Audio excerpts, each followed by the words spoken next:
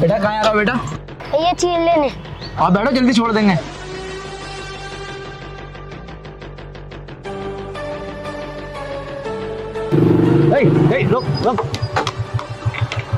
कहाँ जा रहा भाई?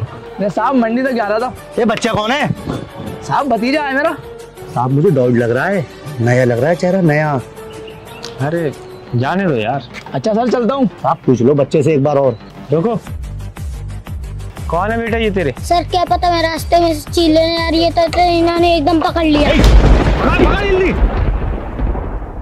उतर जल्दी।